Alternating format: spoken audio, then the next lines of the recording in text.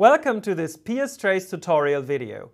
I'm Lutz Stratmann and today I would like to show you how to make a measurement in PSTrace, save it and, well, the usual things you do with your measurements.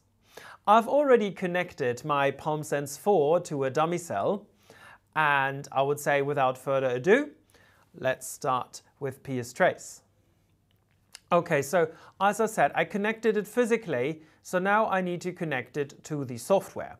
So I don't see my PalmSens 4 here, so I press the refresh button and now I see it. So I press the connect button and then I'm connecting to the PalmSens 4.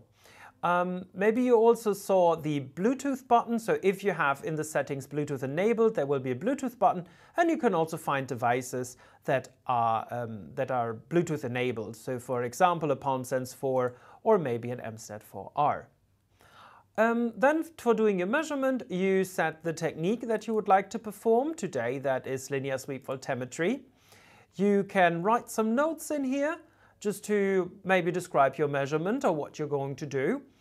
Um, here I've just uh, written in there what my dummy cell is, which is, which is just a 10 kilo ohm resistor. Here you set the current ranges. Um, so that means basically in which order of magnitude do I expect my currents to be. And then the, the potentiostat will switch for you between these current ranges to find the one that gives you the ideal sensitivity. Um, I would skip the pre-treatment settings and usually you can do that if you're not doing stripping voltammetry, but just as a short info, it allows you to apply up to two different potentials for different amounts of time before you start the measurement. Then we have the T-equilibration. This is the time um, where you apply the starting potential without actually recording values to know you let, you let some capacitive charging current decay or you give your potential potentiostat some time to perform auto-ranging, meaning choosing the right current range for you. And then the typical parameters for linear sweep voltammetry, which I've chosen here, which are the start, the end, the step, so how often do we take a point, and the scan rate, so how, how fast do we scan. So these were already the important settings. Then I can press the run button and well, the measurement starts already. And it's a very fast measurement and I'm only measuring a resistor. So what we see here is the result of Ohm's law.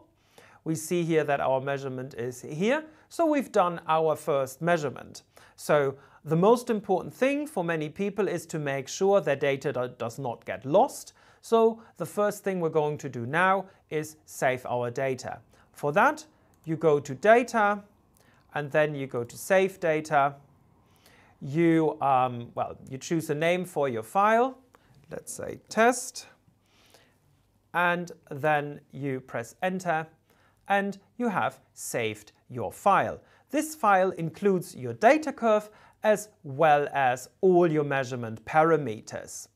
Um, if you only want to save your measurement parameters to maybe share them with a, um, with a friend or colleague that they can reproduce your measurements, you can go to Method and choose there Save As, and then you just choose the method parameters. Right, if you want to load measurements or methods, just go to Data or Method and load the corresponding file. And that was already our first tutorial session for PSTrace. Um, if you're interested in more tutorials, please visit our YouTube channel and don't forget to follow us on LinkedIn so you don't miss any of our updates. Thanks for watching and have a great day.